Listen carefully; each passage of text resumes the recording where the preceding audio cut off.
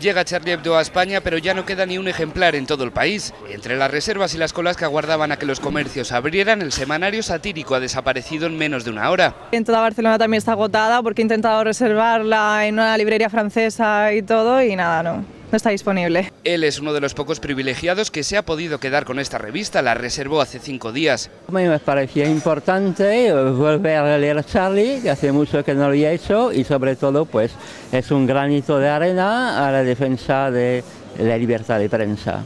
El motivo de tanto interés no puede ser más claro que este. simplemente rechazo la violencia de cualquier tipo que sea, es más, de este tipo estúpido, porque la religión islámica eh, según la predicó Mahoma, no era esto tampoco. Tampoco era esto.